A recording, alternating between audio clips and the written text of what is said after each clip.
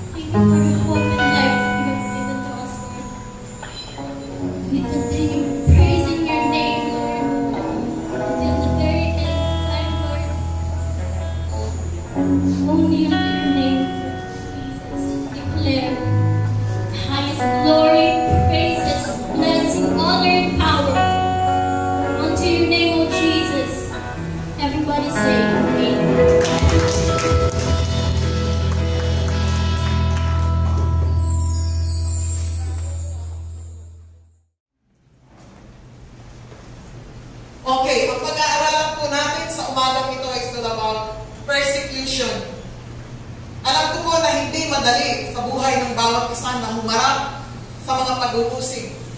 Yung kahirapang ating pinagdaraanan, sabi nga ni Pastor nung nakaraang linggo, ay pa, drill pa lang. Okay? So, everything is really happening in our days.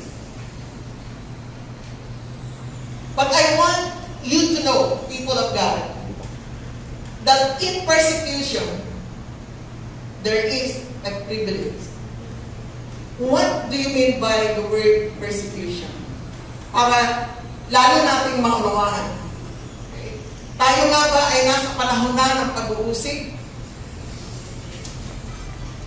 O nagsisimula pa lamang ang kahirapan? Okay. Persecution means hostility and ill treatment, especially because of race or political or religious belief. It is a program or campaign to exterminate, drive away, or subjugate people based on their membership in a religious, ethnic, and social or racial group. So ang mundo pong ito ay hindi nawawala ng tinatawag na pag-uusig o yung persecution. Yung mga tinatawag na racial, religious discrimination. Okay? So, in the book of Daniel, magkakaroon po ito ng lina. The story in the book of Daniel chapter 3. Let's read beginning verse 1. King Nebuchadnezzar made an image of gold, 60 cubits high and 6 cubits wide, and set up on the plain of Dura in the province of Babylon. Verse 2. He then summoned the satrap, prefects, governors, advisors, treasurers, judges, magistrates, and all the other provincial officials to come to the dedication of the image he had set up. Sa madalit sabi, inimbitahan ang lahat na nakaupo sa gobyerno, matataas na tao, yung mga elite, upang sa ganon saksihan yung paghahandog nila doon sa image na ipinagawa ni Nebuchadnezzar. At tumugon po ang lahat. So the satraps, prefects, governors, advisors, treasurers, judges, magistrates, and all the other provincial officials assembled for the dedication of the image that King Nebuchadnezzar had set up, and they stood before it. In verse 4, Then the herald of loudly proclaim, sabi daw, nations and peoples of every language, this is what you are commanded to do.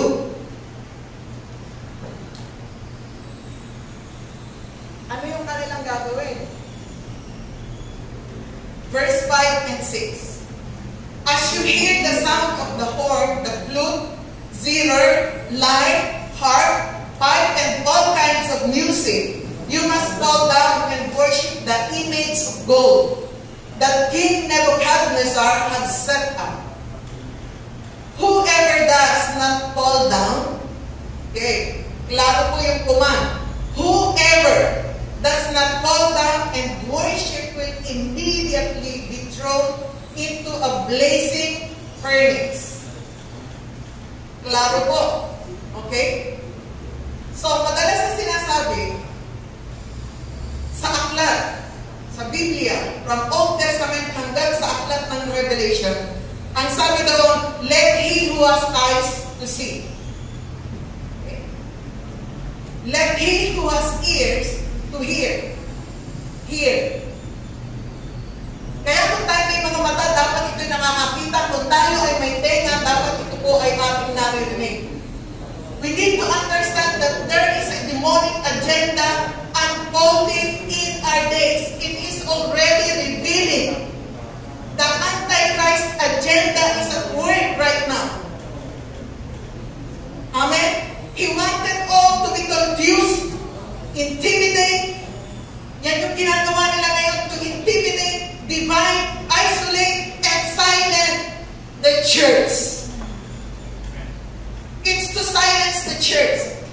Sabi nga, they will work tirelessly to silence us, to silence the preaching of the gospel.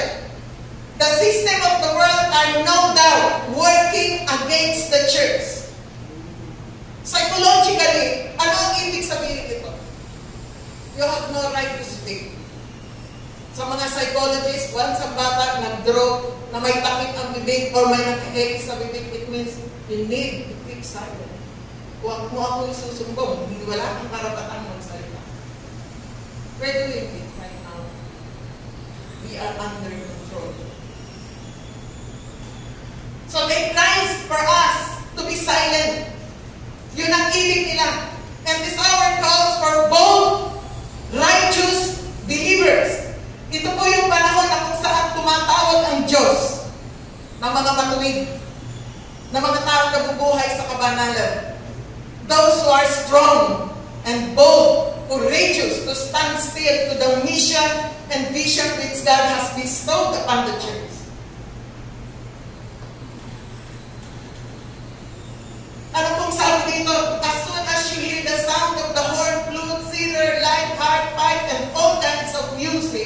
You must fall down and worship the image of gold that King Nebuchadnezzar has set up. At sino mang lalabag dito will be what? Punished. So like in the days of Nebuchadnezzar, a statue has been created and the system calls for all to bow. That statue symbolizes conformity to the ways and ideologies of the world, which society nowadays bow. The preachers bow. People bow. Every language, every nation bow to that system. Lahat natakot, lahat nasa ilalim. Don't you know that when we stop preaching the truth, when we alter God's word better suit the preferences of this generation, we're bowing down to conformity.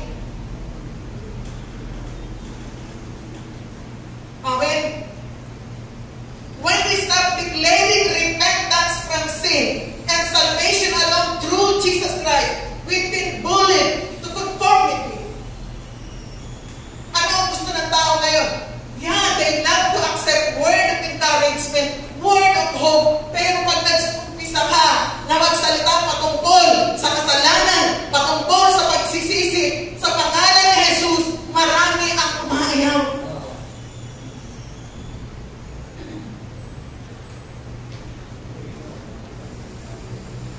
Don't conform to culture. Confront it habang may panahon pa, habang may lakas pa tayo, habang may pagkakataon pa na medyo malaya pa tayo, proclaim the gospel of Christ. Stay on the message. Amen? Amen po ba? Stay on the message. Don't bow. Natatakot kasi tayo. Marami sa atin nagduduwag. Nakukupkup tayo ng takot. Now is the time to rejoice because the Word of God is truly happening. Amen. Ngayon, masaya ba ang puso natin na tayo nagkakatipon? Malaya pa po. Sabi ng Panginoong Yesus sa major gospel in the book of John, darating ang araw na wala nang makagagawa kahit isa. Kaya habang maliwanag pa, gumawa na tayo. Amen. Stay on the message. Don't bow.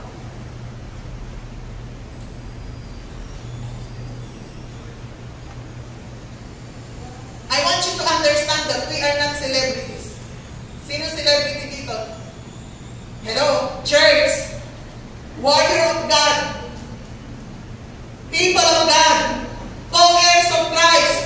We are not celebrities. Amen. We are not puppet.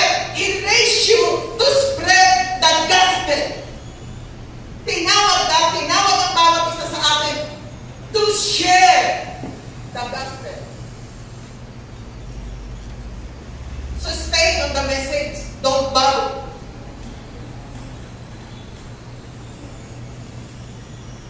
Amen? Kaya is- isang bagay na nakita ko dito, napakaganda rin na magkaroon ka ng mga godly friends, mga God-fearing na kaibigan, na hindi ka iiwan kahit sa gitna ng mga sakuna, kahit sa gitna ng mga pagsusubok, ng mga pagsubok, ng mga pag-uusig. They remain faithful to God till the end. Ngayon, ilan ang willing sa atin? Till the end.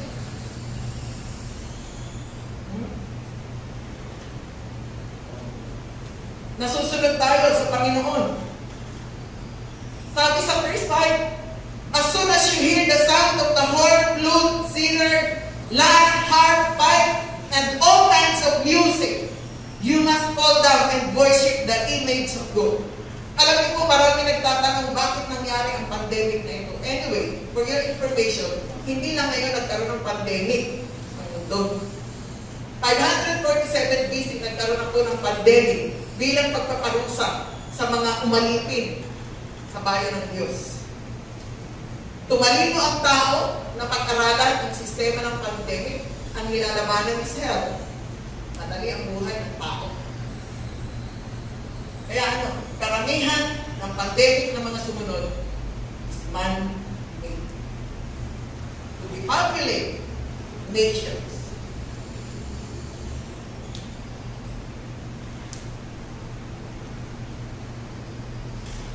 In verse 7, Therefore, as soon as they heard the sound of the horn, the flute, zither, lyre, harp, and all kinds of music, all the nations and people of every language fell down and worshipped the image of gold that King Nebuchadnezzar had set up. At this time, some astrologers came forward and denounced the Jews. They said to King Nebuchadnezzar, May the king live forever. Your majesty has issued a decree. Niremind nila doon sa king. That everyone who hears the sound of the horn, flute, cedar, lyre, harp, pipe, and all kinds of music must fall down and worship the image of gold. And that whoever does not fall down and worship will be thrown into a blazing furnace. Verse 12, But there are some Jews whom you have set up over the affairs of the province of Babylon, Shadrach, Meshach, and Abednego, who pay no attention to you, your majesty. They neither serve their gods or your gods, nor worship the image of gold you have set up. Kumbaga sa ating panahon, sa isang kolokyal at simpleng salita, hindi nawawala ng mga taong laging nakatingin sa iyo ang sinusubaybayan ay ang ginagawa mo. May mga taong siksip sa leader. Hello? Ano yung nakita ko po dito? Alam niyo kung ano? Is pressure. Darating ang panahon na talagang mapipressure ang mananampalataya. Mapipressure to what? To accept and conform the system. Ano ang sistema na meron tayo ngayon? Parating na. Papasok na po tayo doon sa cashless society dahil pinag-aralan nila na ang pera ang isa sa may pinakamaraming virus na dala sa buhay ng tao. Pero number one, kailangan for our necessity. Tama? Saan ang transaction? Bago lahat. Ano ang gagamitin? Technology. Kaya kawawa ang mga taong hindi naman marunong sa technology. Ipinadama ng sistema ng mundo ng ngayon that they don't need the elderly people. Just stay at home. Yung matatanda, pag di na gumalaw, lalo magkakasakit yan. Buti na lang, 59 pa lang ako. Amen.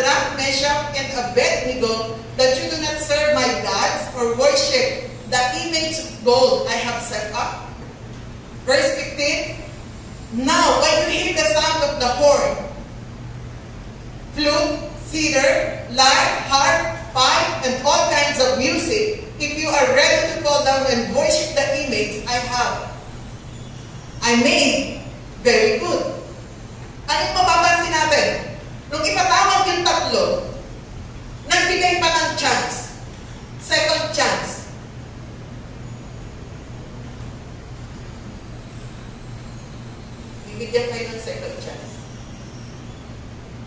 Sino, kanino kayo luluhod? Sino ang inyong susundin? Sino ang inyong sasambahin?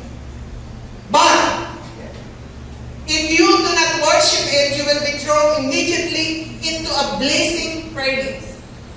Then what God will be able to rescue you from my hand? Sinong Diyos kaya ang pwedeng magligtas sa inyo mula sa aking mga kamay?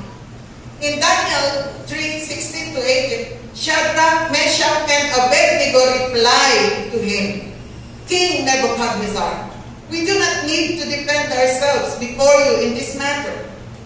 If we are thrown into the blazing furnace, the God we serve is able to deliver us from it, and He will deliver us from your majesty's hand. Hindi naman nawala yung kanyang respect. Hindi nawala yung kanilang respeto doon sa kanilang leader. Okay? But, even if He does not, kung hindi man kami iligtas, we want to know you, your majesty, that we will not serve your gods or worship the image of gold you have set up. Look at that. Bulayin natin mabuti. Ano ang inyong napansin? Ano yung inyong nakita? Ano yung inyong naramdaman? Anong uri ng pananampalataya meron ng mga taong ito? Unang-una, hindi sila kumuha ng simpatya sa ibang tao. Tatlo lang silang ipinatawag. Pero ang sabi nila, we do not need to defend ourselves before you, Your Majesty. Ano yung declaration? If we are thrown into the blazing furnace, the God we serve is able to deliver us from it. And He will deliver us from your hand, your majesty. Look at the unwavering trust and their unshakable faith in God. Hindi kayang tinagin ng pag-uusig ang kanilang pananampalataya. Hindi sila nagdadalawang loob. Handa nilang ibigay yung nakilala. And that is Yahweh. The God of heaven and earth. Yung unang-unang hari na nakahala sa kanila, yun pa rin yung kanilang kinikilala. Although may kaharap silang hari na si King Nebuchadnezzar. Look at that. Is that the kind of faith that we have now? O ang dali-dali natin natakot, ang dali-dali natin nayanin, ang dali-dali natin nawala ng loob. People of God, do not be upset, nor be afraid. Dahil yung Diyos na nagligtas kay Shadrach, kay Meshach, kay Abednego, ay siya yung Diyos na magliligtas sa kanyang bayan sa panahong ito. Amen! At sa panahong darating. Hallelujah! So stand true to the vision and mission that God has bestowed for us. Meron ibinigay na ang Diyos. Christians, do not be afraid to suffer. Huwag tayong manghinayang doon sa buhay natin dito sa lupa. Everything. Pansamantala lang dito sa lupa. Alam niyo nung mag-lockdown, kahit pala ang dami ng pera mo walang saysay, hindi ka rin makalabas. Nung kainitan ng lockdown, hindi pa naman puso, ganun kainit din ang mga, what do you call that, online selling. Lahat takot kasi. Ang hindi lang yata natakot mga kapatid natin sa JCSRs. Amen. Ilan sa inyo natakot? Ang hirap na hirap sa masa. I cannot breathe. Ilan sa atin na nagamit ng takot? Ako, thankful ako na may mga taong pinatulan ako. Sabi ko, ilan kaya ang kapatol sa akin? Nananawagan ako, sino gusto sumama sa prayer meeting? May sumasama sa akin, kumapatol sa akin. Ibig sabihin may kasama pa. Itong tatlong ito, kaibigan ko ni Daniel. Kasi sila yung mga kabataan ko na matitipuno, matatalino, magandang i-train. So nasubok sila. Si Daniel nasubok. Itong tatlong ito nasubok magkasama sila. Lahat sila bihag, lahat sila alipin. Pero hindi sila natakot kay King Nebuchadnezzar. Kaya ang tibay ng kanilang paninindigan kahit hindi po kami iligtas. Pwede kaya natin sabi, kahit namatay ako sa COVID-19, sa Diyos pa rin ako. Kahit wala nang maghatid sa akin ang pagkain provider siya, bakit ngayon wala? Nagbabago ba ang Diyos? No. Amen. Dapat hindi pabago-bago yung ating pagtitiwala sa Diyos. May pagsubok o wala. In the midst of tribulation, yan po sa Tagalog ay paghihirap, kahirapan. May mga sinubok din tayo ng mga kapatid. Pero isa lang ang sinabi ko, Lord, hindi mawawala ng saysay ang iyong salita. I trust in you, my Lord, that they are able and capable enough to handle the situation. Amen. So, do not be upset. Ano sabi ng Biblia? Rejoice, and again, I say rejoice. Walang dahilan ang Kristiyano para malungkot, para manlupaypay, para matakot. Amen. In Daniel chapter 3, verse 19 to 25, Then Nebuchadnezzar was furious with Shadrach, Meshach, and Abednego. He ordered the furnace heated seven times hotter than usual. Ilang ulit? Seven times. Pinainit yung hurno. Tama ba o yung pugon? Seven times. And commanded some of the strongest soldiers in his army to tie up Shadrach, Meshach, and Abednego and throw them into the blazing furnace. Lahat ng kanilang kasuotan, suot-suot nila, iginapos lang sila. So these men, wearing their robes, cruisers, turbans, and other clothes were bound and thrown into the blazing furnace. The king's command was so urgent and furnace so hot that flames of the fire killed the soldiers who took up Shadrach, Meshach, and Abednego. And these three men firmly tied fell into the blazing furnace. Inihahatid pa lang ng mga kawal, yung tatlo, nasunog na sila, hindi na nila kinaya yung init, yung pressure ng apoy. Kaya nauna silang mga namatay.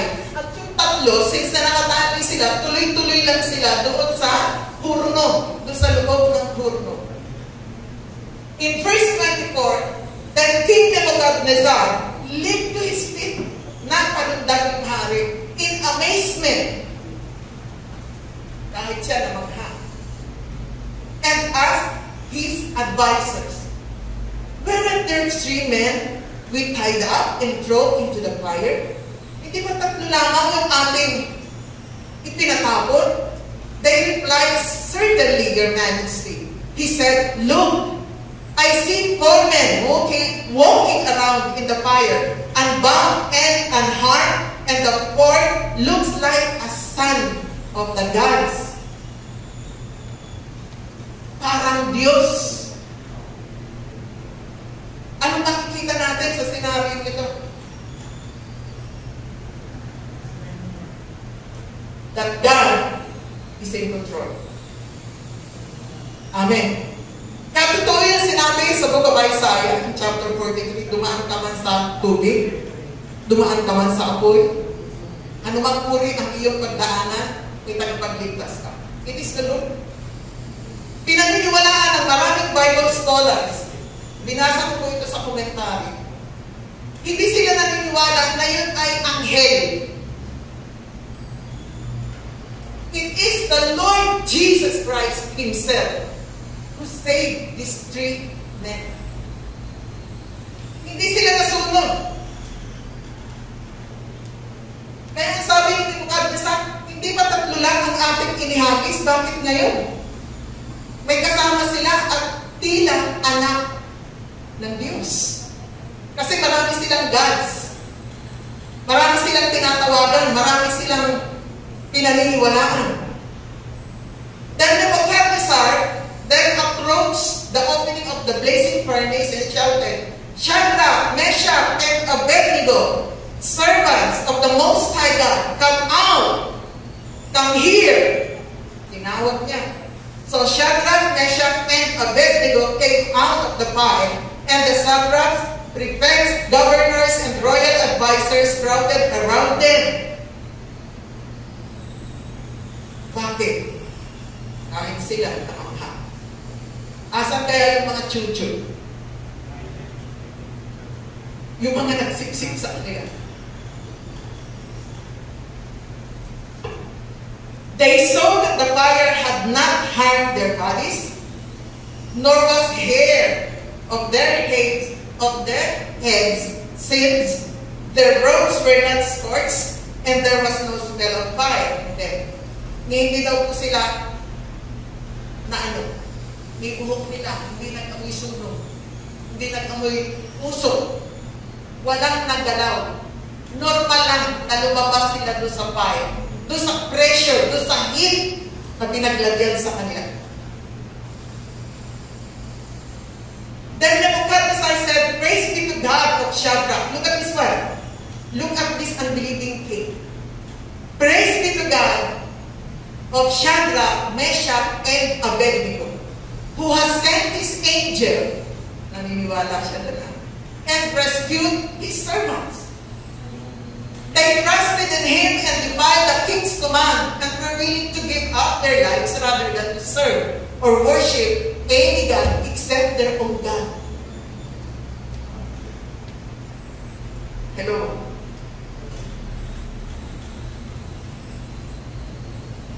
Mismo ang nagbigay ng papuri ay yung hindi mananampalataya.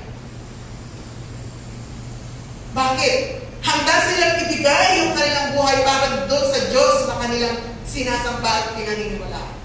What about us, Christian? Paano tayo, mga mananampalataya? Christians should no longer fear death. Dapat ang Kristiyano hindi na natatakot sa kamatayan as they once did as unbelievers. Yan ang kinatatakutan. Iisa lang naman po talaga ang meron kamandag sa lupang ito. Death kaya tingnan nyo na dumating yung pandemic, ang daming natakot, nakontrol lahat. Kahit ang mga leader, lalo pag nabalitaan, maging ang mga prinsipe nagkaroon, yung mga leader nagkaroon, mismo yung mga doktor na gumagawat nagkaroon, mismo yung mga nurses nagkaroon. So anong sinilit sa puso ng tao? Fear about death. Ako sabi ko, Panginoon, kung kukunin mo ako sa panahon ito, kasi sa tanda ko ito, ngayon lang ako naka-experience ng ganito. Hindi ako natatakot. Lagi ako tinatakot ng mga anak ko. Sige, tigas ang ulo mo, bukas nasa dyan ka. Hello? Check up ka ngayon, bukas nasa dyan ka. Inabot ng pandemic, hindi ako nakipagpa-check up one year na. Purihin ng Diyos, buhay pa rin. Pagkaman nakakaramdam minsan ng panghihina ng pisikal na katawan dahil sa pagkakaedad, pero buhay pa rin. Lakas pakain. Hello? So Jesus, dapat maunawaan natin that Jesus came to destroy the works of the devil. That is written in the book of Hebrews chapter 2, verse 14 to 15. That is already that is already sealed by the blood of Jesus. Hindi kaya kaya ingatan kung iningatan si Shadrach, si Meshach, si Abednego, iningatan si Daniel, iningatan si Apostol Pablo, hindi kaya tayo ingatan din ng Diyos sa ating panahon? Ano sabi ni Paul? For me to live is Christ, and to die is gain. Kung ako'y mabubuhay, mabubuhay ako para kay Kristo at kung ako'y mamamatay, ito'y pakinabang.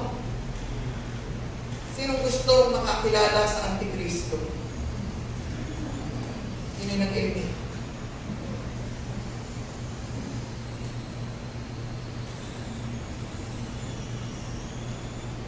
Church, hindi ko na siya makikilala. Bago dumating ang matinding kahirapan sa mundo ito, aalisin Pangako yan ng Diyos eh. Hindi pa po yun yung second coming ha. Rapture pa lang yun. Doon pa lang siya bababa sa alabaa para in a twinkling of an eye, kunin ang mga nagmamahal sa Kanya. Amen. Kaya sabi ni Pablo, to live is Christ and to die is gain. Now, do these things which characterize Christians characterize you? Ganito rin ba ang puso natin katulad kay Shadrach sa tatlong magkakaibigan ito? Katulad sa puso ni Apostol Pablo, do we have this kind of vital sign that trust Him? Darating ba yung pintig ng puso natin? People of God, now is the time. Kapag hindi ito yung vital sign natin, you need to repent and trust God now. Dahil kapag dumating, dumating pressure, baka hindi natin kayanin. May bali-balita na. Walang papasok ng Japan without vaccination and chips. Napipigilan. Alam niyo po ba, napipigilan ka lang for your sake, for my sake, for the sake of the church. I'm not just talking JCSRC. Napakaraming mga Christian churches. We need to repent. Now is the time to repent. Kaya nga doon sa page ko, lagi akong may panawagan sa mga ama. Sinishare ko yung mga Bible studies para kahit nasa bahay kayo, may pag-aaralan kayo, may i-meditate kayo. My word of God, my word of hope, encouragement, everything ando na. Pero hindi nawawala yung repentance at pagtalakay sa kasalanan.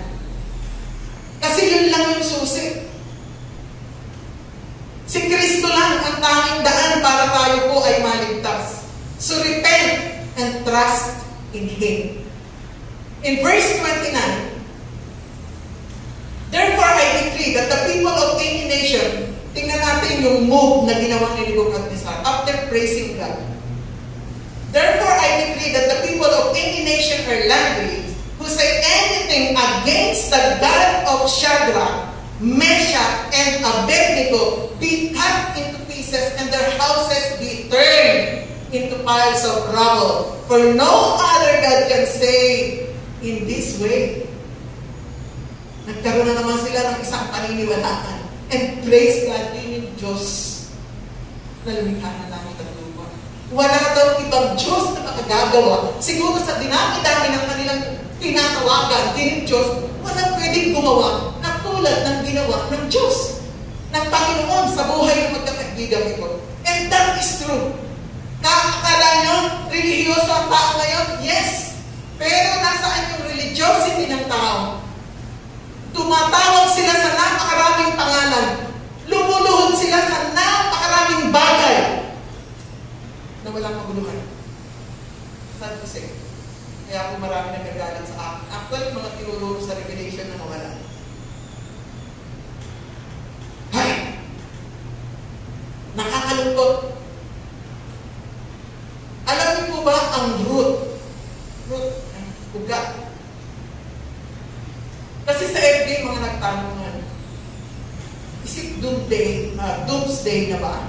End times na ba? Ano ang reason? Bakit nagalit si God? Because yung salitang tao. Ha? Suriin din natin sa ating panahon, kanino lumuluhod ang tao? Kanina napapasa ilalim ang tao. Minsan para tayong sinibukad ni Sar. Eto tayo, pag gusto natin yung sarili natin, may sariling ribulto. Minsan ang Panginoon natin, sarili natin. Ang iluluhuran natin, sarili natin. Ang nasusunod, sarili natin. Yun yung reason. Why there is pandemic? Why is there tribulation? happening even in the days of the church. Bakit nakikita natin ito? Although ang nais ng Diyos iprepara tayo, pero ipinapakita ng Diyos ano ang ugat ng lahat ng ito. Because they bow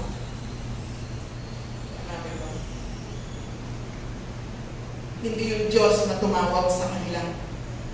Amen. Then the king promoted Shadrach, Meshach, and Abednego in the province of Babylon. Nakita niyo yung declaration? Lahat na magsalta laban sa Diyos ng tatlong ito, parurusahan. They will be cut into pieces. Tsatsap-tsapin. Ibubuho ang kanilang mga tahanan. For no other God can save in this way. Humanga ang mga tao hindi lang si Nebuchadnezzar. Kaya ano nangyari? Na-promote pa si Shadrach, si Meshach, at si Abednego. Ano ang nakita ko dito? That generation will be impacted by your obedience. If we know how to obey God, makikita ito ng sanlibutan ating tinatahanan. Makikita ito ng taong ating nakakasalamuha. Makikita ito mismo sa loob ng ating tahanan. Your obedience is very important. Sabi nga, generation will be impacted by your obedience. So do not stop preaching the gospel. Do not stop sharing the truth. Do not conform to the system of this world. Minsan kung ano yung in, yun ang sinusunod natin. Yun ang ginagawa natin. Ang tao wala nang hilig sa kayo, humaba ka babasahin. Gusto maikli, o kung meron mang panunuorin, yung mga nakatatawa.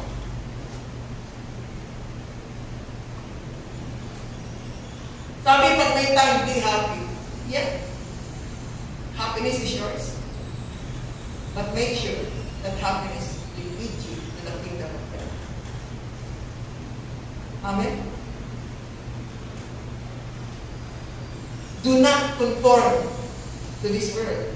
Kaya ang sabi, pre- preachers, yung mga nangangaral, yung mga manggagawa, prepare your church prophetically. Hello? Did you understand me?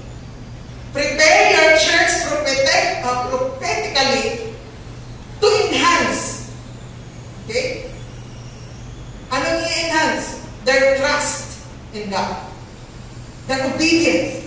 So as people of God, we need to pray like never before. We need to study and obey God like never before.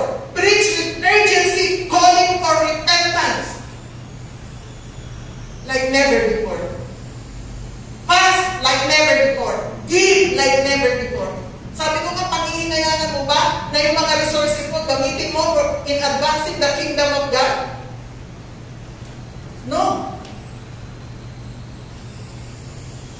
Pag nag-rapture, iiwan mo lahat yan.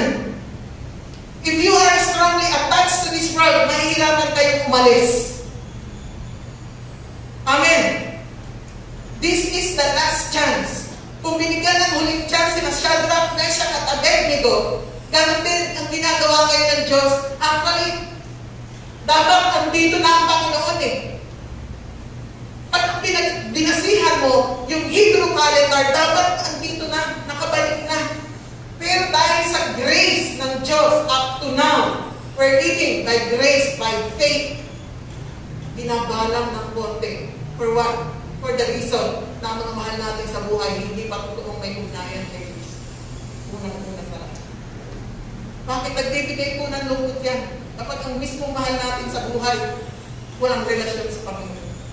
Maaari katulad din ng iba, may religion kayo, pero hindi po yun ang binabasinan. Amen. This is the last time. So pray, fast, give like never before. Preach like never before. Sabi ko nga, Lord, anong bibigay ko? Puno-puno ang page ko ng mga word of encouragement, word of hope. Anong ibibigay ko sa iyong mga, sa iyong church? Kapatid, napakabuti ng Diyos, hanggang ngayon, binibigyan tayo ng chance. Now, why persecution of privilege? Sabihin pa ng book, papasok pa lang na. Okay. Why persecution of privilege? Dapat maunawaan natin that persecution is a mark of obedience. Naunawaan niyo po ba? Naunawaan niyo, medyo thumbs up para alam ko na gising kayo. Right. That persecution, first and foremost, it brings justice. Ang Diyos, sabi nga, is a just God. Sino ang totoong justice natin? Sino ang totoong magbibigay sa atin ng katarungan? Si It's the Lord Jesus Himself. Because He is a just God. Ipagtatanggol niya tayo. Siya yung advocate natin, eh, sinabi ni Apostol Pablo. Siya yung tumatayong abogado natin. Sabi ko nga, pabangahan natin niyo sa Diyos. It brings justice. It brings power and authority. Sa gitna ng mga pag-uusik, nadi-display, nahahayag ang kapangyarihan at lakas ng Diyos para iligtas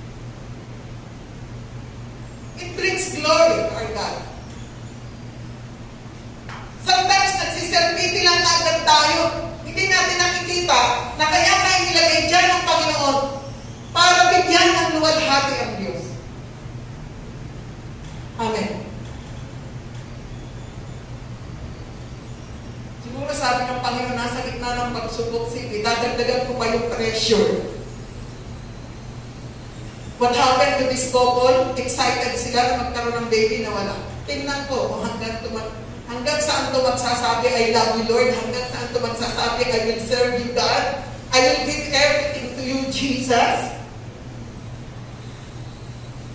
Saan tayo nilalagay minsan? Doon sa fire.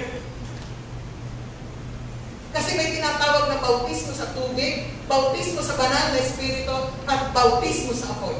It is affliction, a fire, na minsan hindi natin kaya yung heat, hindi natin halos kinakaya yung pressure.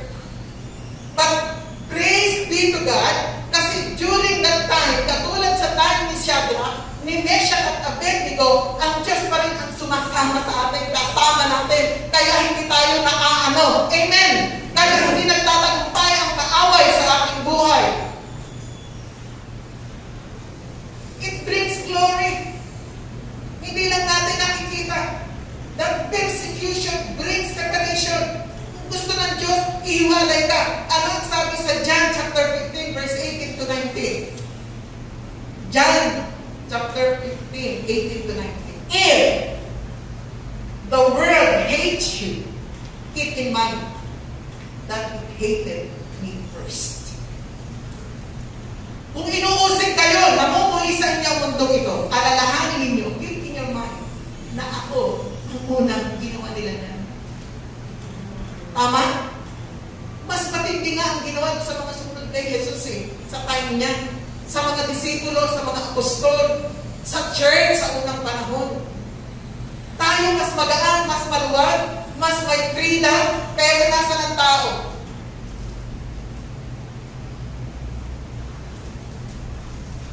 Natutuwa na ako during pandemic. Daming tawag ng tawag sa bahay. Siguro, hindi ka, nag-capture ng lahat. Tapos ang pandemic, wala na nakaalala. Wala na nag-check. If you belong to the world, it would love you as its own. If you love the world, sabi doon, as it is, you do not belong to the world, but I have chosen you. Sino pumili? It is the Lord Himself. But I have chosen you out of the world. That's why the world hates you. Hated the child. Kaya nga sabi ko, yung anti-Christ agenda, ano ang iyak nila? To stop the church. Ha? Yan yung talagang goal.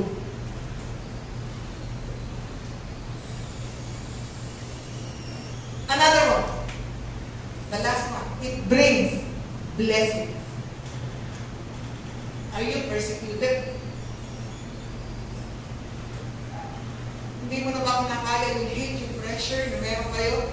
Ano ang sabi sa chapter 5, verse 11 ng book of Matthew? Blessed are you when people insult you, persecute you, and falsely say all kinds of evil against you because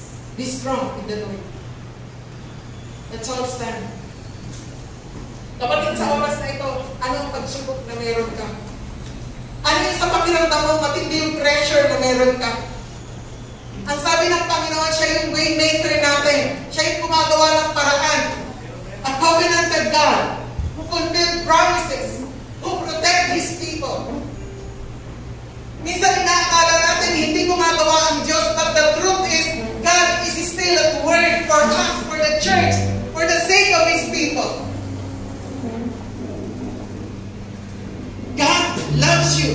He loves us so much. At maniniwala ako, hindi pababayaan ng Diyos ang kanyang bayan. Let us remain faithful hanggang sa kamatayan.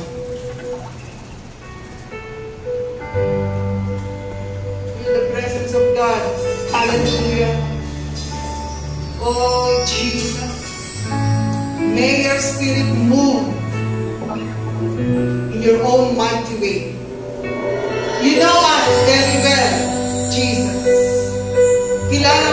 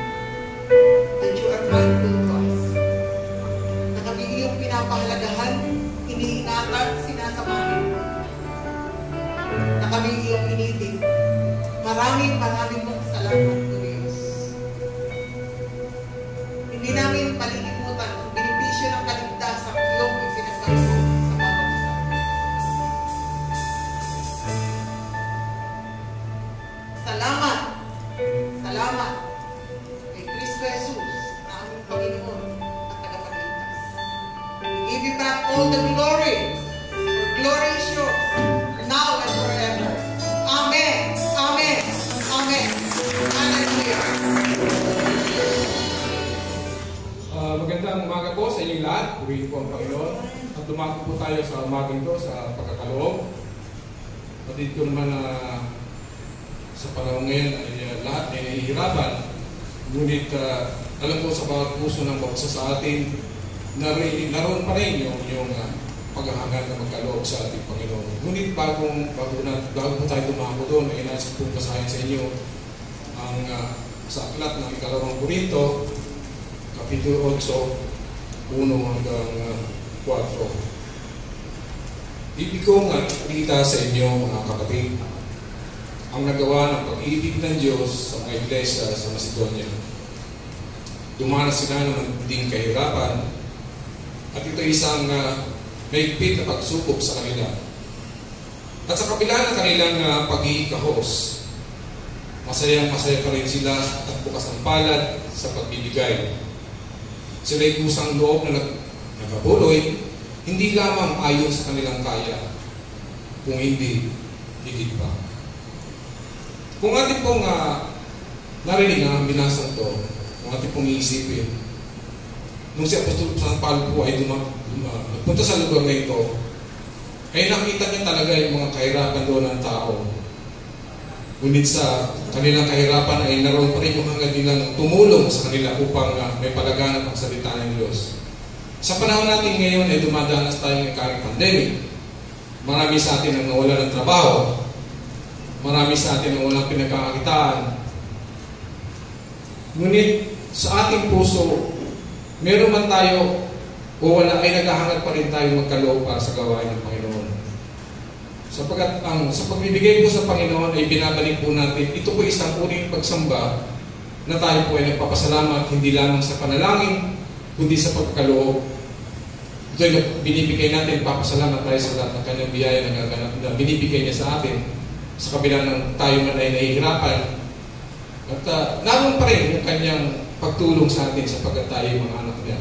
Sabi nga ng teacher Mel, titiwala tayo sa kanya, huwag tayo masiraan ng loob.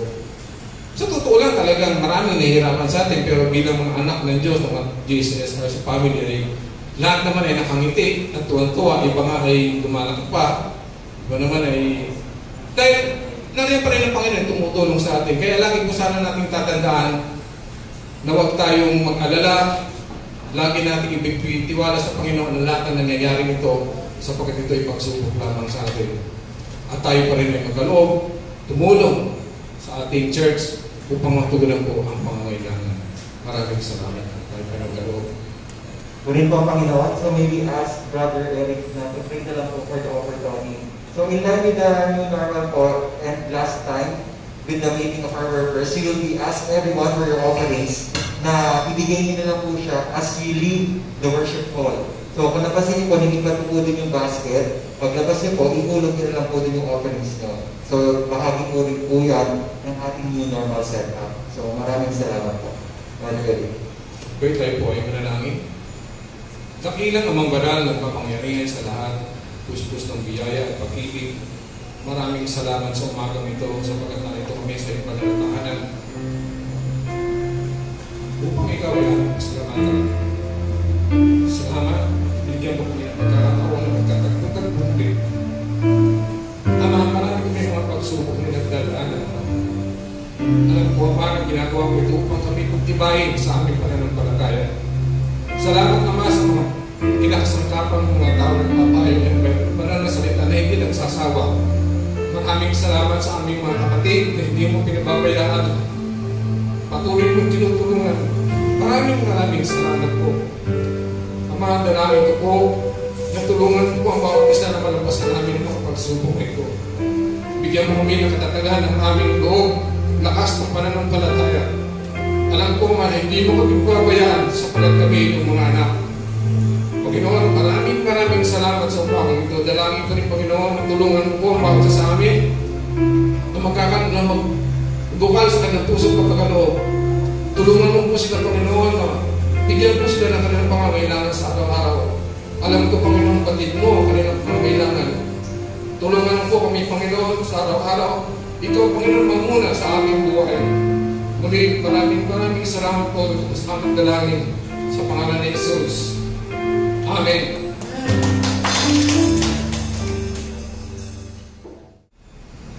Okay. Maraming maraming pong salamat. Tayo pong lahat ay tumayo. Natin tugori, 5 minutes lang ng pag-isipte. So thank you so much. Heavenly Father, all we can say is, you are a glorious God. Maraming maraming pong salamat. Dakilang Diyos, inunat mo ngayon ang mapagpalang kamay. Basbasan mo ang bawat isa at nawa, patuloy namin tamasahin habang kami lumalakad sa mundo ito ang lahat ng mabubuting bagay na tanging sa iyo nagmumula. Kaya naman sa umagang ito, mga kapatid, tanggapin po natin ang masaganang habang ng Diyos na mga nasa langit, ang pagliligtas ni Heso Kristo na ating Panginoon at ang kanyang pagliligtas. Ngayon at magpasawalang hanggan, ang lahat ng umiibig sa Diyos ay magsabi ng Amen. Amen. Glory, glory, hallelujah.